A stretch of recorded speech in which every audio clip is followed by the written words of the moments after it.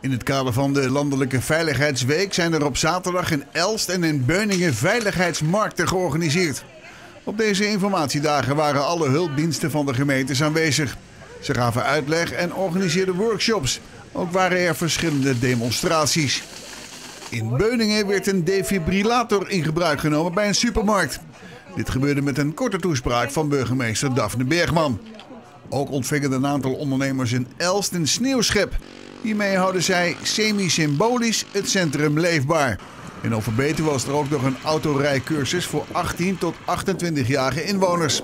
Zij kregen een cursus over alcohol en drugs in het verkeer, een slipinstructie en een rit in een vrachtwagen. Allemaal om hun autorijtalenten te vergroten.